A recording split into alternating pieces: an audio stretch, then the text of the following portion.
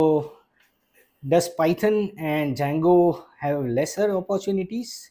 Well, that's a contended claim. I would think otherwise. So, in absolute numbers, definitely there are so many Python and Django jobs out there that you can apply to and get placed. But probably in relative terms, in comparison to other languages, yes, it might have less number of jobs. And it has to do with the following reason. Firstly, most of the enterprise code is written in Java. As you know, Java runs on JVM. JVM is an amazing piece of technology. It gets evolved every single day, and there are so many people working on it.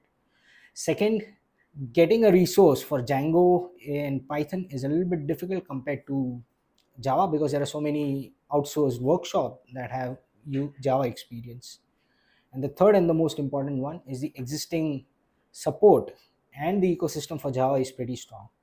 So these are the reasons why you might think that Django and Python are uh,